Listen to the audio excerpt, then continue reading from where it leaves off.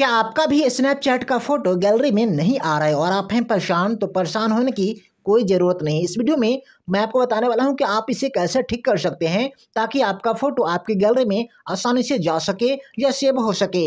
सो चलिए इस वीडियो को शुरू करते हैं। सो I am Firoz Badshah you are watching our YouTube channel Firoz Badshah Art चलिए वीडियो को शुरू करते हैं।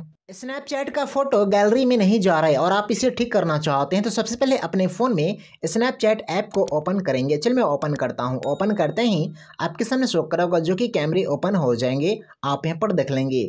मैं यहाँ पर दिखाता हूँ एक फ़ोटो को लेकर के मैं इस वस्तु, यानी कि इस डब्बे का फ़ोटो लेता हूँ। फ़ोटो लेने के बाद मैं यहाँ जो है क्या करता हूँ? सेव करता हूँ, जो कि सभी सेव करते हैं, इस पर क्लिक करके मैं भी इस पर क्लिक करता हूँ।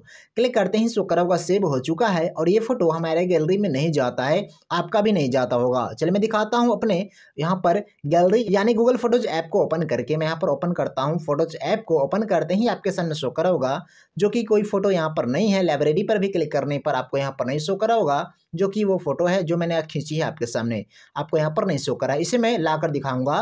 लाते कैसे? आइए जानते हैं। आपको यहाँ पर क्या करना है? यहाँ से बैक हो जाना है। इसके बाद आप अपने प्रोफ़ाइल वाले फ़ोटो या लोगो पे क्लिक करेंगे, जो कि यहाँ पे शो करा होगा। आप यहाँ पर देख लेंगे, लेफ़्ट में है। आप इस पर टच करेंगे। टच करते ही आपके सामने शो करा होगा, जो कि हमारा प्रोफ़ाइल ओपन हो गया है। आपका भी ओपन हो जाएगा। इसके बाद आपके सामने शो करा होगा ऊपर में, जो कि एक सेटिंग का आइकन होगा। आप यहाँ पर देख लेंगे। आप इस सेटिंग वाले आइकन पे क्लिक करेंगे।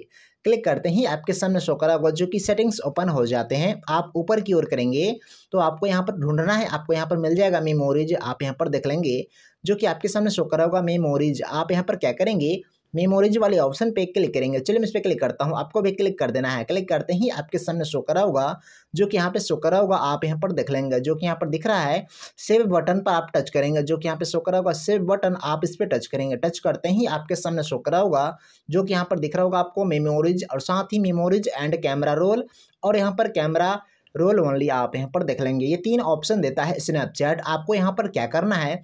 मेमोरीज एंड कैमरा रोल पर क्लिक करना है, जो कि बीच वाला ऑप्शन है। आप इस पर टच कर देंगे। तभी आपका फ़ोटो आपके गैलरी में सेव होगा।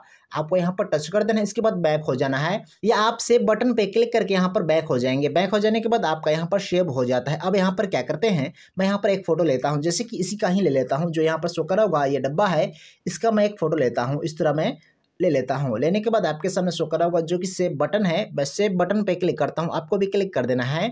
इसके बाद अब चलते हैं अपने गूगल फ़ोटोज़ ऐप को ओपन करते हैं या गैलरी को ओपन करेंगे तो आपको यहाँ पर फ़ोटो मिल जाएगा। आप यहाँ पर देख सकते हैं जो कि आपके सामने शो करा हुआ, ऊपर में हमारा ये फ़ोटो आ गया है, जो मैंने आपके सामने खींची है, आप यहाँ पर देख लेंगे। तो इस तरह जो है आप आसानी से स्नैपचैट की फ़ोटो गैलरी में नहीं आ रहे तो आप इस तरह ला सकते हैं, ठीक करके। तो मैं ऐसा करता हूँ कि आपको यह छोटी सी वीडियो बहुत ही पसंद आया होगा। वीडियो पसंद आए तो इस वीडियो को लाइक कर देना। चलिए फिर मिलेंगे अगले वीडियो में। दीजिए इजाज़त। Thank you so much.